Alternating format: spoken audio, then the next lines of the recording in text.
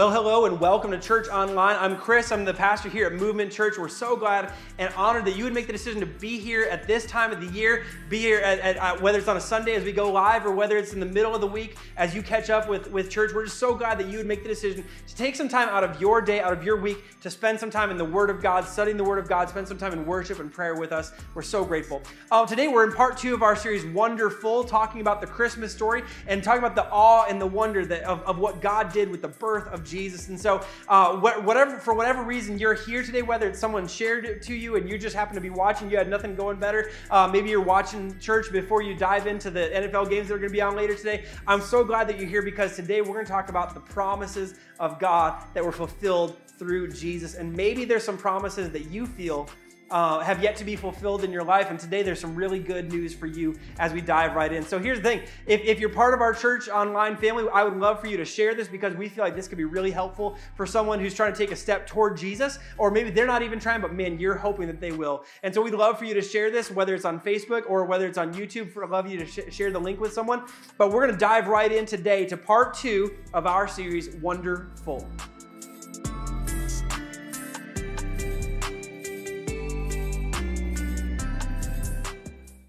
Well, last week we began this series, Wonderful, this Christmas series, Wonderful, by saying this What God began with the birth of Jesus should fill us with a sense of awe and wonder at the greatness of God. That what God began with the birth and the arrival of Jesus, it should fill us with a sense of awe and wonder at how good our God is. That what God did should leave us with, with this sense of awe and wide eyed wonder, going, man, check out the amazing thing that God has done. That even though this Christmas season you won't hear anything you haven't heard before in the Christmas story, we can still all be filled with awe and wonder because what God began then and there is still reaching our hearts and our lives here and now. And last week we began by looking at the good news of Christmas that should fill us with awe and wonder. Good news, a Savior has been born. You don't have to wait for him one more moment. That good news, a Savior has been born to you and for you. He is far more personal than we would ever dream or hope of. And good news, you yes, you can find him. He is not too hard to find or too distant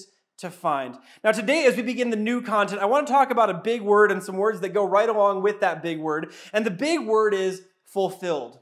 Would you, matter of fact, wherever you are right now, would you either type in the chat or would you say out loud with me on the count of three, ready? One, two, three, fulfilled. Here's a question for you Have you ever made a plan or a promise around the holidays that you weren't able to fulfill? Maybe, maybe it was the plan of what you were going to give someone as a gift, and then because of life circumstances, the money just wasn't there. Or, or maybe for some of you, it was a promise that you'd have the house decorated, or the Christmas lights on the house, or the gifts wrapped and under the tree by a certain point in time, and whatever deadline it was, it came and went, and you didn't come close to meeting your plan. Or maybe it was plans that you and your family had made to travel to be with loved ones around the holidays, and then either because of weather or sickness, you weren't able to turn those plans into reality. I, I, know the last one was part of our life in Christmas season two years ago. Two years ago was the year 2020, and we had big plans of going to Wisconsin to be with my family for Christmas for the first time in our in Jalen and I married life. Uh, the first time with our kids. It would have been the first time I was with my family for Christmas in 14 years. And then we got COVID the day before we were supposed to leave. And in my sadness and frustration with having to cancel those plans, we did still have one silver lining. With COVID, having COVID, we had not lost our sense of taste or smell. It was, it, it, was the silver lining to having COVID at that point. And so while we were going to be isolated with just our family, I was going to prepare a great meal for us to enjoy as a family. I got a roast delivered and left at our door, got the potatoes and carrots and onions and celery, and we were going to make the most of Christmas and still have a wonderful Christmas meal. It started cooking, and I was so excited because it smelled really, really good. And then, about a half an hour before we planned on eating, something funny happened. I couldn't smell the roast cooking anymore. Do you see where this is leading? Yeah, about an hour before dinner, the whole family lost our sense of taste and smell. It was the absolute, it was the icing on the cake of plans and promises that were not fulfilled for our family at Christmas 2020. So here's what we all know there is nothing worse than unfulfilled promises and incomplete plans at Christmas. There's, there's nothing worse than unfulfilled promises at Christmas and, un, and incomplete plans at Christmas. Again, whether that's wrapping the gifts, whether that's being able to get the gifts that you want, whether it's travel, whether it's the food, whether it's whatever it is that you thought you were going to have and that you were going to do and that you and the people that you were going to see and not being able to see them and not being able to back up your promises, there is nothing worse than that at Christmas. Isn't that true? I mean, there's nothing worse. No worse feeling than knowing what you had planned or promised you just weren't able to make happen. And that's a tough feeling any time of the year, but especially at Christmas, that's a difficult feeling to process and to deal with. But it's also the reality of life, right? That at times we make promises, and because of the circumstances outside of our control, or because of things that are inside of our control, we aren't able to fulfill our promises. We make plans, but then things that, because of things outside of our control, we aren't able to do everything that we planned and promised to do. And in that line of thinking and with that thought in our minds, we actually find out something amazing about God and about what really happened at Christmas when Jesus was born. Because with the birth of Christ, here's what we see and here's what we come to understand. God never made a promise about the Savior that was not fulfilled through Jesus.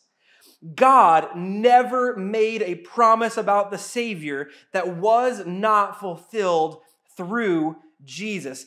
Everything that God had promised about the arrival and the life of the Messiah came to be in the birth, life, death, and resurrection of Jesus every single thing. There was nothing that the prophets foretold that did not come to be reality. There was no promise made from the very beginning that did not come to pass in the arrival and the life and the ministry and the death and resurrection of Jesus. This actually tracks with something that we're told early on in the Christmas story from the lips of the angel Gabriel to the Virgin Mary as he told her that she would conceive. She had a question. She had a question. Well, how is this going to be because I'm a virgin, because I'm not married, because I've never been with a man? And we're told this in Luke chapter 1, verse 35. The angel answered, The Holy Spirit will come on you, and the power of the Most High will overshadow you. So the Holy One to be born will be called the Son of God. Even Elizabeth, your relative, is going to have a child in her old age, and she who was said to be unable to conceive is in her sixth month. Now, he's saying, Look, God said that this was going to happen for your cousin. God's saying this is going to happen for you. And then he drops this line in verse 37 that is so powerful and so amazing and so at the center of what we're talking about today. Says this For no word from God will ever fail. For no word from God, no promise of God, no plan that God has put into practice and put into motion, no preparation that God has done and, and spoken, no promise of God will ever fail.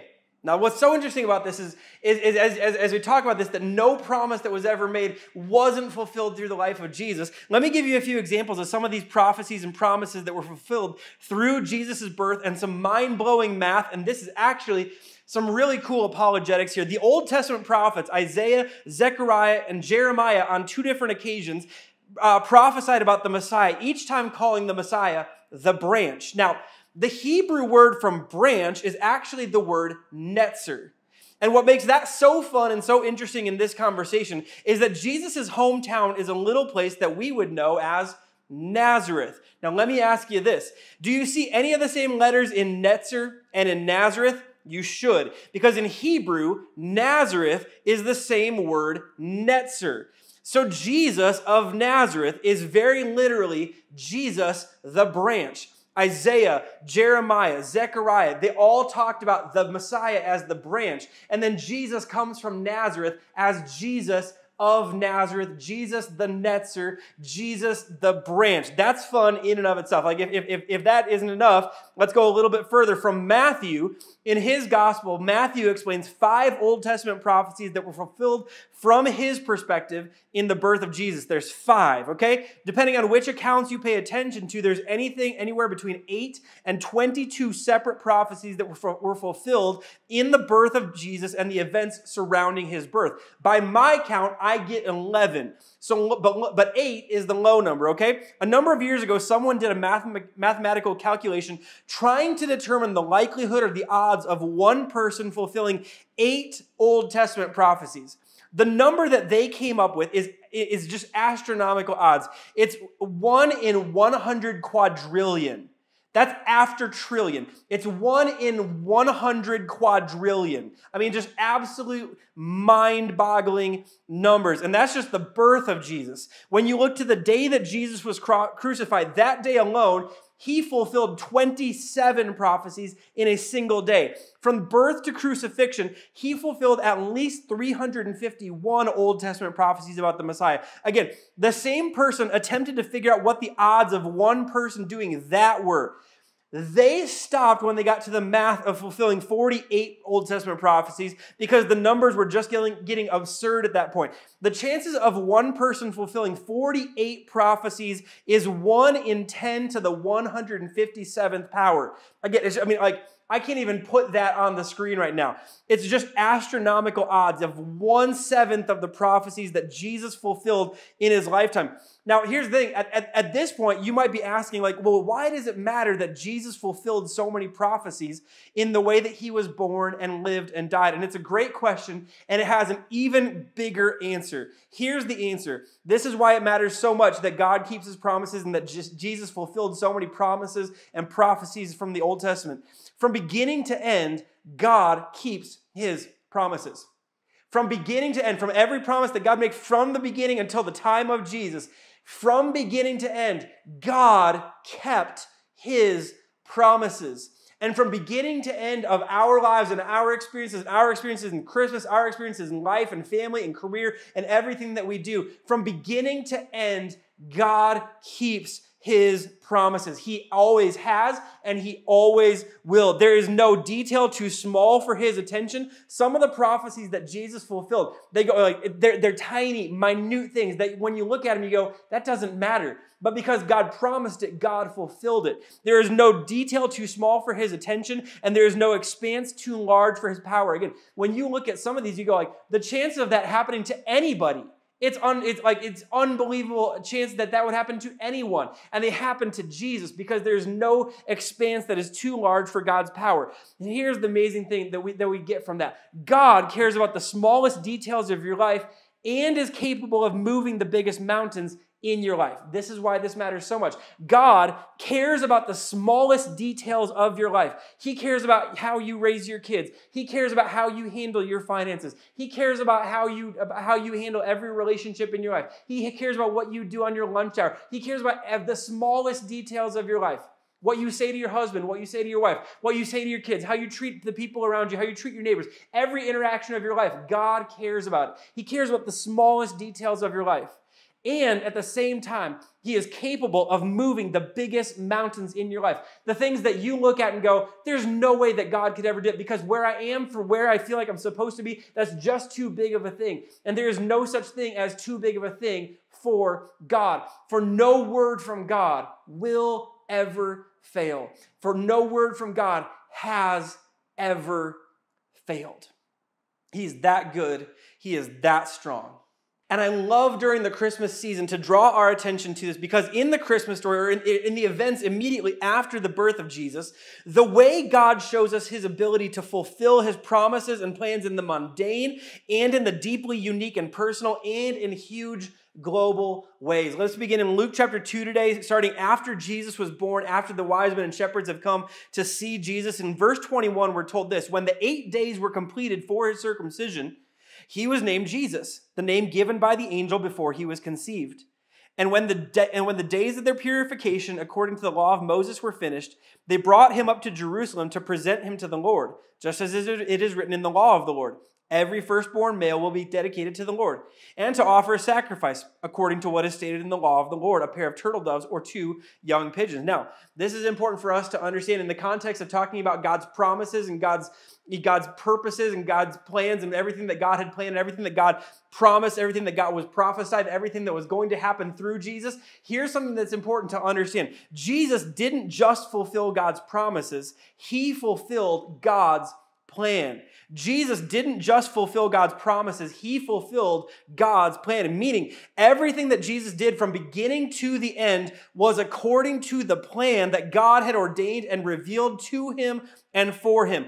His obedience, in other words, his obedience didn't begin in the Garden of Gethsemane. His obedience didn't begin at the cross. It began as an infant. It was a family thing. In his circumcision, in his naming, in the dedication as a, as a child, and sacrificial offerings being made by Jesus' parents, Jesus fulfilled and completed every step of God's plan and God's law from the beginning. He didn't just fulfill God's promises, he also fulfilled God's plan. And here's why this matters and why we should pay attention to this. God doesn't skip steps in his plan in order to fulfill his promises. God had his perfect son dedicated to the Lord because that's what was required in the religious law. God had his perfect son circumcised because that's what was required by the law. God had Jesus do everything that was required of humanity under the law so that he could be a perfect and sinless sacrifice for the sin of the whole world. God paid attention to every detail and Jesus completed every step. Jesus did not just complete and fulfill God's promises, although that's amazing. That's like, wow. But Jesus also fulfilled every step of God's plan along the way because God does not skip steps as he fulfills his plans and his promises and his purposes. Now we're told this in verse 25. As they're on that trip, there was a man in Jerusalem whose name was Simeon. This man was righteous and devout, looking forward to Israel's consolation, and the Holy Spirit was on him. It had been revealed to him by the Holy Spirit that he would not see death before he saw the Lord's Messiah. Now, again, imagine receiving that promise. Imagine being, I don't know, 50, 60, 70, 80 years old and being told you will not die before you see the Lord's Messiah. You will see the Savior of the world in your lifetime. With your eyes, you will see the Savior of the world. Now, you might die as soon as you see him. You might, like, you may literally evaporate into dust the second you see him. But this, but you will, in your lifetime, with your own eyes, see the Savior of the world. Verse 27 tells us this Guided by the Spirit, he entered the temple. When the parents brought in the child Jesus to perform for him what was customary under the law, Simeon took him up in his arms, praised God, and said, "Now, the strange man just comes and takes, takes this child. He took him up in his arms, praised God, and said, Now, Master, you can dismiss your servant in peace as you promised, for my eyes have seen your salvation you have prepared it in the presence of all peoples, a light for revelation to the Gentiles, and glory to your people, Israel. And I love this truth that we see here. God, in this moment, God fulfilled every part of his master plan, and God fulfilled every individual promise. I mean, again, in this moment, whether or not God fulfilled his promise to Simeon, does that ultimately, like, if Jesus was the Savior of the world who came into the world and he died on the cross for our sins and he rose from the dead to invite us into new life and he was sinless every step along the way, would it have mattered if God had really just not fulfilled that promise to Simeon? It probably honestly would not matter, except that we wouldn't know that God fulfills every single promise. This obscure, never recorded until Luke recorded it promise, God had made it, and because He made it, He would fulfill it. Ironically, this promise didn't matter to anyone else besides Simeon. Like, I mean, like, we're not told that anyone else knew it besides Simeon, except, except that it's recorded in the book of Luke. It wouldn't have mattered to the story if God had not fulfilled the promise. But it matters because when God makes a promise, a really big one to the whole world or the whole nation, or a tiny, insignificant one to a single old man, God keeps his promises from start to finish, from beginning to end, the big ones to the small ones, the ones to everyone, and the ones to a single one. God keeps his promise, which means if God made a promise to you, God will fulfill that promise and will see it through because God keeps his promises.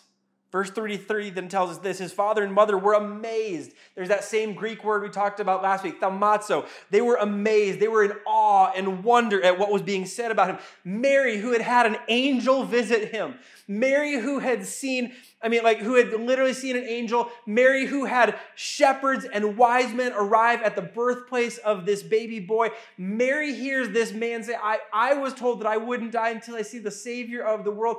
They're amazed at what was being said about Jesus. Then Simeon blessed them and told his mother Mary, Indeed, this child is destined to cause the fall and the rise of many in Israel, and to be a sign that will be opposed, and a sword that will pierce, your own soul, that the thoughts of many hearts may be revealed. God fulfilled the master plan. God fulfilled the individual promises. And then God was about to do one more thing in this very moment. There was also a prophetess, Anna, a daughter of Phanuel of the tribe of Asher. She was well along in years, having lived with her husband seven years after her marriage, and was a widow for 84 years. I mean, at minimum, we know she's at least 91, but she's 91 if she got married as a baby, and I'm against baby marriage, okay? She's at least 91. She's probably at least 100, maybe 105, maybe 115 years old. She did not leave the temple, serving God day, night and day with fasting and prayers. At that very moment, she came up and began to thank God and to speak about him to all who are looking forward to the redemption of Jerusalem. And here's why I love this so much. So God fulfills his promises on a global scale, on a, the things that were prophesied about the Messiah in the Old Testament, all of them fulfilled through Jesus. The promise that was only made to Simeon, to one single person, God fulfills in that moment. And then God does something in this story that I think is just so beautiful. God went above and beyond his promises to display his goodness to the faithful. I mean, this wasn't even a promise.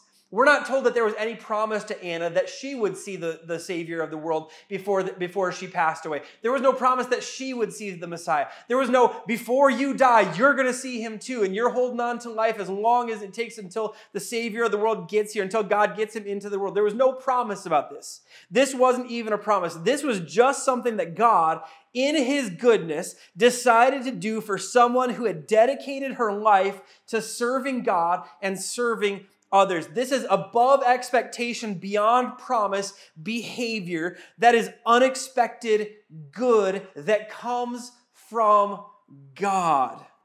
So, God, through Jesus, through Jesus, we see that God keeps every promise he's ever made to the whole world. He also keeps every promise he's ever made to any, to any single person.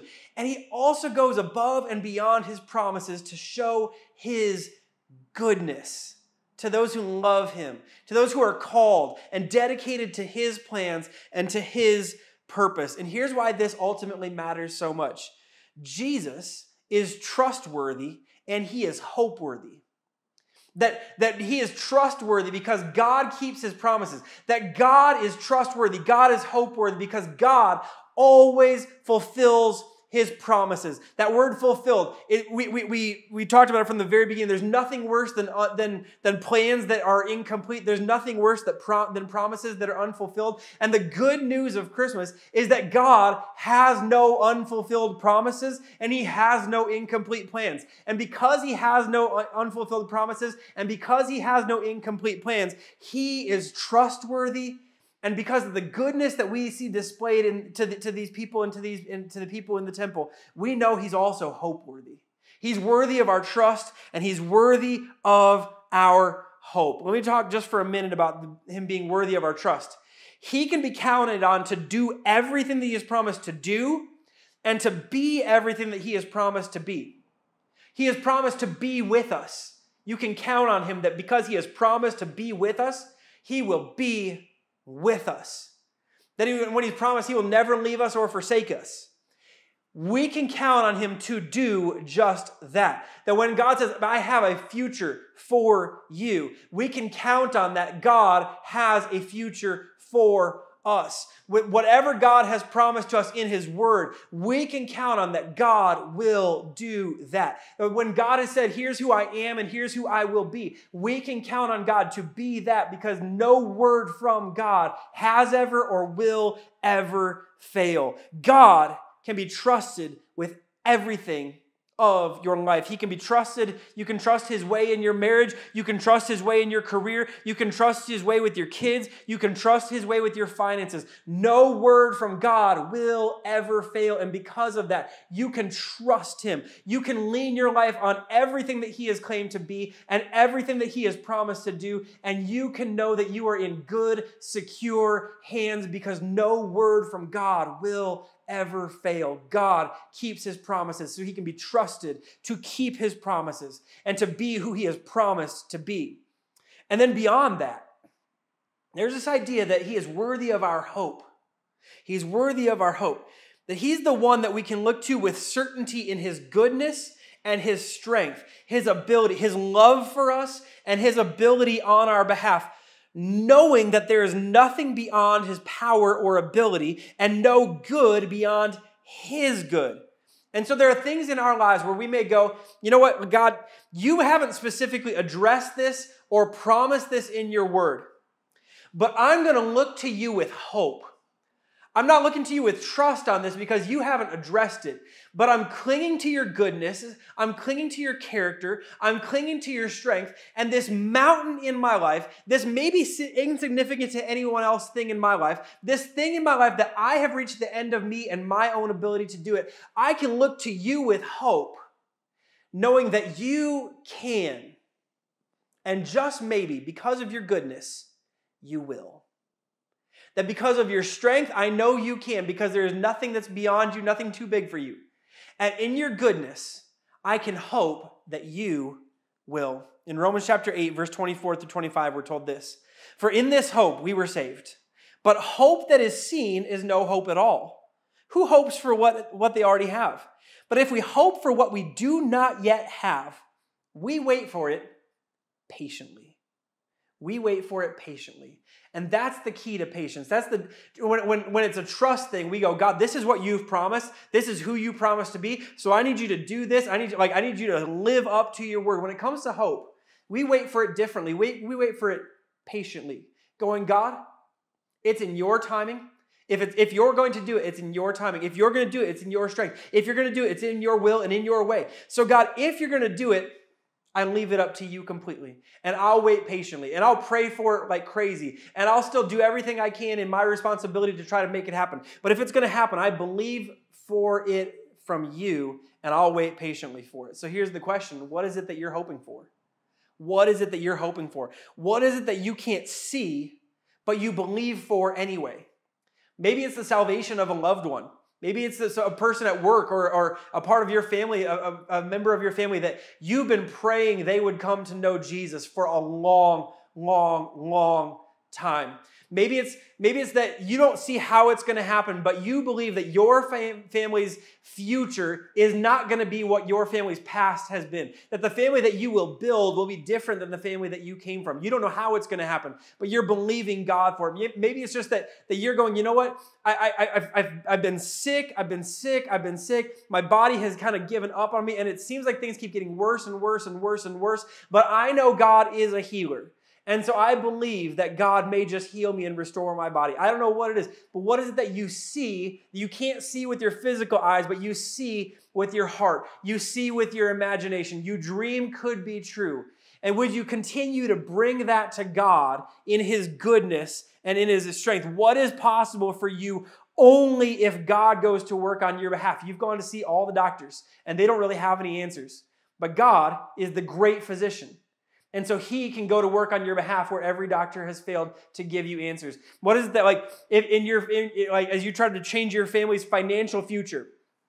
As you go, God, I don't know like where, where, I come from, we don't have the discipline to make this happen. We don't have the self control to stop. So, like, we don't, like, when we get money, everything goes through our fingers. So, God, only if you get a control of my heart and mind and change me, that's where it becomes possible to change the future of our family when it comes to our finances or when it comes to anything.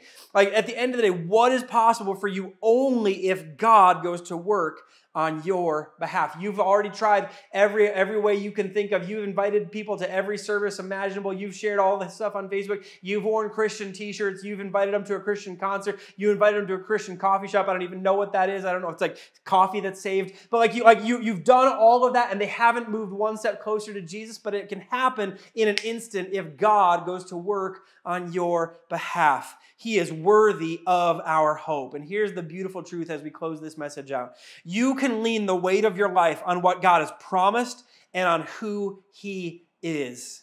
If you want to know what we learned from the Christmas story and from the days and the week that follow after, you can lean the weight of your life on what God has promised and on who He is. You can point your trust at Him, trusting that He will do everything that He has promised to do and that he will be everything that he has promised to be. And you can point your hope at him, knowing who he is that he is the strong God, that he is the great physician, that he is the healer, that he is our provider, that he is our strength, that he is our redeemer, that he is our restorer. You know who he is. And so you can place your hope in him, knowing that he, in his goodness, he just might do something beyond his promises.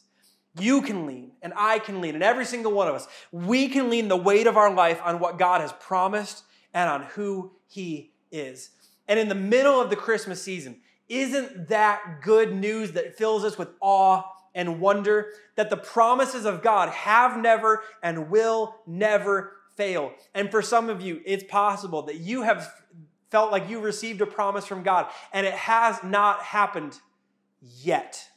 And today, I just want to encourage you don't stop believing in the promises of God because no word from God has ever or will ever fail because God keeps his promise. And for some of you, you have a mountain that is in the middle of your life. And for you, it, it may not be a mountain for everyone, but it's a mountain for you. And if you think it's too big, you think it's too big, and you think that it's something that, like, if, if God was going to do it, he would have done it by now.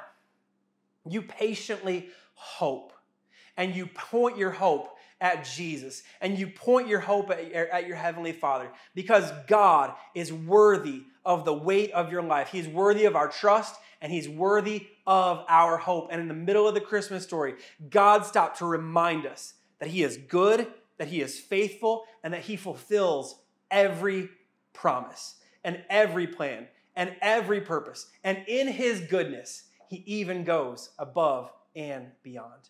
And that is wonderful. Let me pray for you. Heavenly Father, thank you so much for who you are. Thank you for your goodness. Thank you for your love. Thank you for your mercy. Thank you for your faithfulness to your word, to your promises, and to us. God, thank you that we can know you because of what you did through Jesus on the uh, uh, uh Jesus' birth, through his life, through the cross, through the empty grave. Thank you for every bit of it. Thank you for everything that you are and everything that you've done. And thank you that you keep your promises. Thank you that we can trust in you because you keep your promises. Thank you that we can hope in you because we know you go beyond your promises.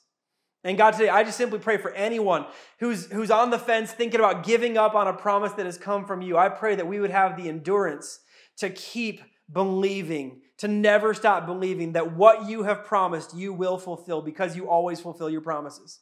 And God, for those of us who are hoping for something from you, God, I simply pray today that you would meet us in the place of our hope. God, in the moments that go beyond what you've promised, that in your goodness and your mercy and your strength and your ability, you would meet us in our hope and we would see you move on our behalf. So, God, do that.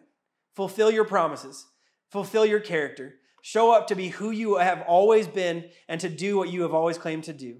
Show us your love, show us your mercy, show us your strength as you fulfill your promises and as you fulfill your character that you go above and beyond your promises to meet us in our hope. God, we love you. We thank you for every promise fulfilled through Jesus. We thank you for every promise that is still to be fulfilled, knowing that you will fulfill it. We love you and we pray this in Jesus' name. Amen.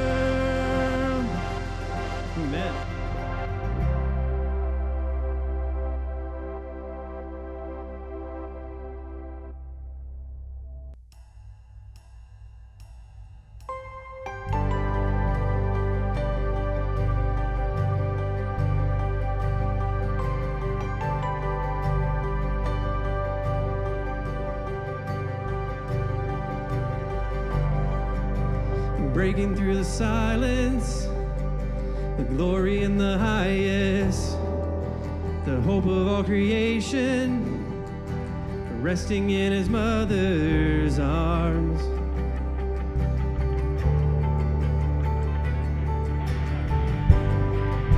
A song on the horizon, ringing through the heavens, a long awaited Savior set the captives free. Come to set the captives free. Come set us free. Sing, Hope has a name.